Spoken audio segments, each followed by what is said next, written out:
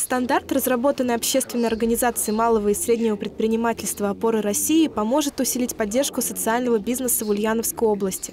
Цель таких мероприятий – создать условия для увеличения общего числа предпринимателей. В Ульяновской области сформирована эффективная инфраструктура поддержки МСП.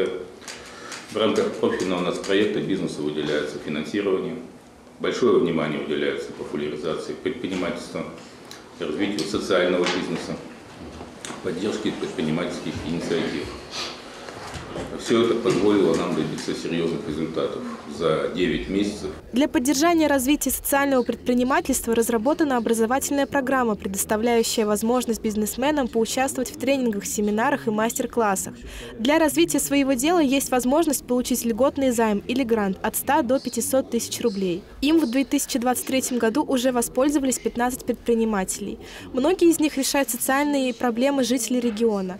Например, обеспечивают работу инвалидов и обучают особенных детей. Здесь самый важный момент – это, наверное, открыть этим людям рынки сбыта. То есть, чтобы они получили дополнительно государственные, муниципальные заказы на свои услуги. Ну и помочь, наверное, с инфраструктурой. То есть, э, дать помещения а, в аренду по льготным ставкам или вообще по нулевым ставкам в пользование. Сегодняшнее законодательство – Ульяновской области это позволяет. Для предпринимателей, легализующих свою деятельность, снизится ставка по налогам. Также установит допустимый порог роста по налогу на имущество для бизнесменов. Это сбалансирует резкий рост налога на недвижимое имущество.